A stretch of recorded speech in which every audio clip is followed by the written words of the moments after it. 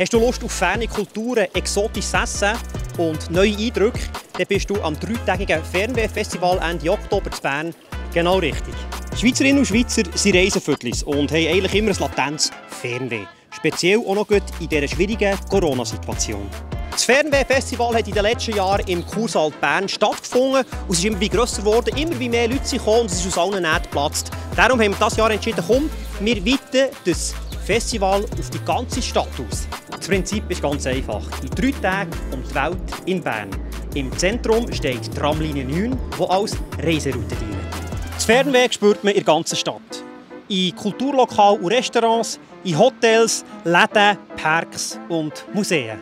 An jedem Ecke kannst du etwas Neues entdecken und dein Fernweh stillen. Der Weg dazu ist ganz einfach. Du brauchst nur einen Fernwehpass. Der kostet 29 Franken und dient dir für alle drei Tage als Festivalpass.